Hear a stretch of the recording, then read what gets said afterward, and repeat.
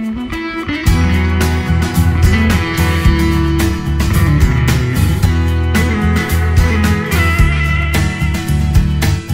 digitalización es una realidad a día de hoy y nuestro comercio tiene que adaptarse a ella y tiene que introducirse también en, ese ámbito.